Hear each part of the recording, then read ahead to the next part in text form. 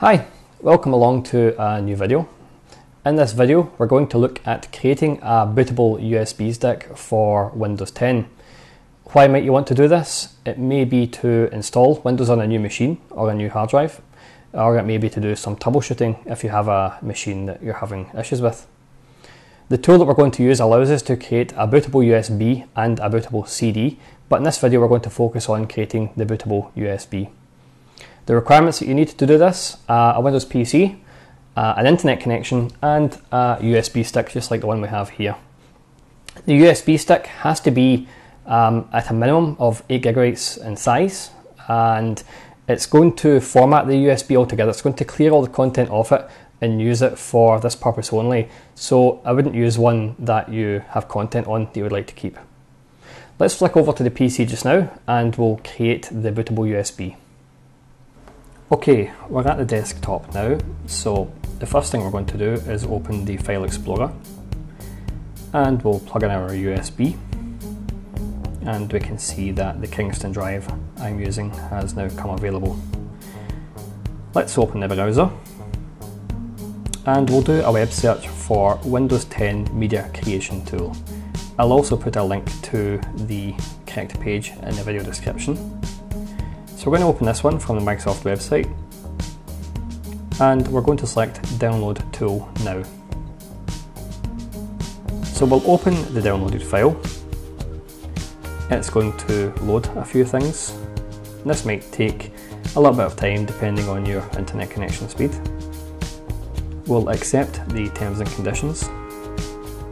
Now the tool allows us to upgrade this PC or to create installation media um, let's say you had run this on a Windows 7 PC, for example, or an older version of Windows 10, you could upgrade it. But for this one, we're going to create the installation media. Now these settings are based on the system that you're opening the tool on. You can go in and change these if you'd like to. Um, now, the only thing I would call out is the uh, architecture there, so I would recommend 64-bit. 64-bit is typically used for machines with 4 gigabytes of memory or more, which all machines should have in this day and age. So when we get this option to create the USB or the ISO, we're going to go for the USB. The ISO is what we would use to create a bootable CD or optical media. Now we're going to select the drive. Um, so what you can do here, you can actually jump back into Windows Explorer just to confirm that you have the right drive and you're using the correct one. So I'll select the Kingston one here. Now this is the longest part of the process. It's now going to go through uh, three phases of the process. Now this again depends on a couple of things. It depends on the speed of your internet connection, it depends on the speed of the USB stick, um, and also the speed of the USB connection on your machine. So if you're using a machine with a USB 3 uh, socket and a USB 3 flash drive, this will go a little bit faster. So what's going to happen now, it's going to download the files like it's doing now. It's then going to verify the downloaded files and it's going to create the USB media. So we'll just let that continue just now. And okay, when you get to this stage, the process has been completed, it's done. So we click on finish and in the background it's going to clean up some downloaded files. If we open up Windows Explorer now, we can see that the name of the USB stick has changed and this reflects the uh, the fact it's now a bootable Windows installation USB. And then before we pull the machine or the stick out of the computer, we want to eject that safely.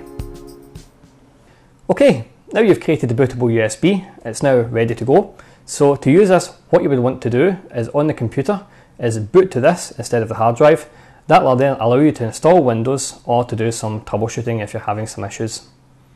In the next video, I'm going to demonstrate how to use this on a new machine. So I've ordered a new laptop that's coming without Windows installed, and I'm going to use this exact USB to install Windows on that new machine.